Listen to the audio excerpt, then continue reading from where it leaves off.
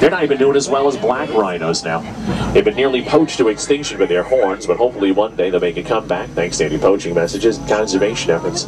Even on very famous and well-protected reserves, poachers still find ways to get in. You see, they're muddy, though, and they're dusty, but they are not white. They never were. They are gray.